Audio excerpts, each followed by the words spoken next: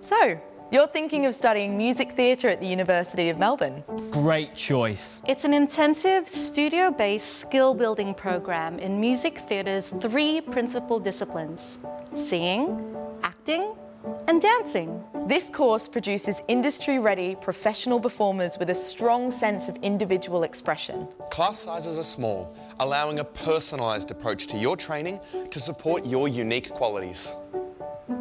The application process for music theatre consists of three parts. Part 1. Your University of Melbourne application form. Head to the university's website to apply directly for the course and pay your application fee. Applications open in August for the following year. Don't forget to leave yourself some time to meet the University of Melbourne's English language requirements, which can be found on the university's study website. You'll want to check the website for the date applications close. This is very important because you need to have part one and part two of the application process done by this date. Part 2. Your supplementary application form. Once you've applied for your course, you will be sent a link to complete a supplementary application form. The form will ask for a short personal statement about why you're interested in joining the course. And what training, achievements, and professional performance experience you have in singing, acting, and dance. We like to put a face to a name, so upload a headshot with your application. It should be current, but it doesn't have to be professionally shot. There is a fee to submit a supplementary application form, which can be waived for exceptional circumstances. Part three, your audition. It's time to see you perform. You'll be asked to record an audition and upload it with the supplementary form submission. You can find a guide on the university study website to help you prepare for your audition. What should you expect in your audition? For recorded auditions, begin it with a short introduction about who you are, where you're from, and why you're interested in joining the course. You'll be performing two songs, two monologues, and a dance routine. Got some questions about your song audition? You'll need to prepare two full songs. To help you prepare, our full song and sheet music guidelines are on the university's study website. What about the monologue audition? You'll need to prepare two monologues, contrasting in style. You can do Shakespeare if you like, but it's not a requirement. Do something you love and something that shows contrast.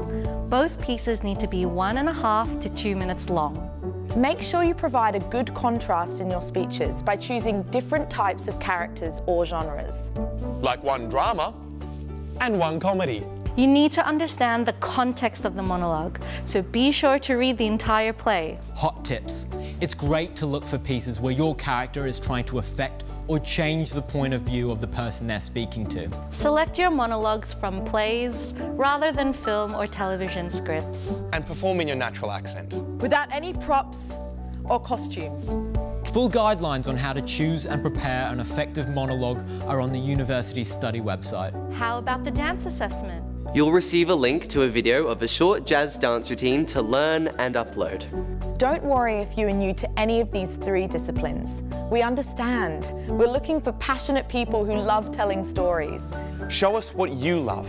What happens after the audition? Callbacks take place in November or early December, either in person or online. If your recorded audition has been successful, you'll be invited to attend. You'll be asked to perform or workshop your audition pieces. You can find specific callback dates listed on the website. This is the hard part, waiting for your outcome. We won't leave you waiting for too long though. If you've successfully met all the entry requirements for the course and passed the audition and interview, you'll receive an email with your formal offer in December. If you've not been successful, don't be disheartened. Many of our most successful students and alumni Even some of us. Have applied multiple times before receiving their place. Once you receive an offer, you can accept it online and get started enrolling in your course subjects. Best of luck. We can't wait for you to join us.